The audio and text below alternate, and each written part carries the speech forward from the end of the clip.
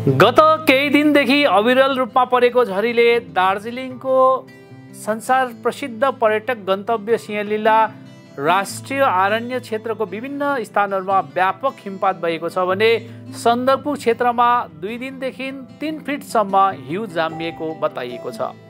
हिमपातको कारण सन्दकपू इलाका स्विजरल्यान्ड जस्तै सेताम्य देखिए तापनि स्थानीयहरू जनजीवनमा हिमपातले निकै प्रभावित पारेको बताउँछन्। यसको साथमा हिउँ सन्दकपू फालुट बिर्खे भन्ज्याङ हुँदै कालपोखरीसम्म परेपछि त्यहाँसम्म पुग्ने मार्ग पूर्णत प्रभावित बनेको बताइएको छ। अर्कोतिर हिमपातभन्दा अघि घुम्न आएका पर्यटकहरूलाई स्थानीय मानिसहरूसँगै वनकर्मी तथा सशस्त्र सीमा बलको सहयोगमा सुरक्षित रूपमा आफ्नो गन्तव्य पठाइएको जान्नमा आएको छ।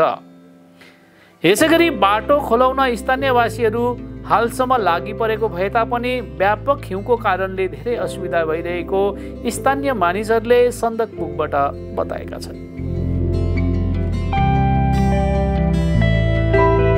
त्यो चाहिँ हामी फरेस्टको भएर एसएसबी यहाँको पब्लिकहरू भएर यहाँबाट चाहिँ चौरी चौक चौरी चोक भन्ने जग्गा छ।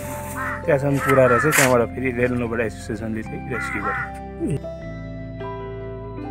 हजुर पर्थ्यो पहिला पनि। हजुर। चाहिँ र लगभग कोही साल कम्ती कम्ती नै आउँथ्यो कोही साल चाहिँ ठुलो नै आउँथ्यो र यो यसपालिको चाहिँ तपाईँको यो मार्चको महिनामा यतिको आउनु भनेर डरै लाग्दैन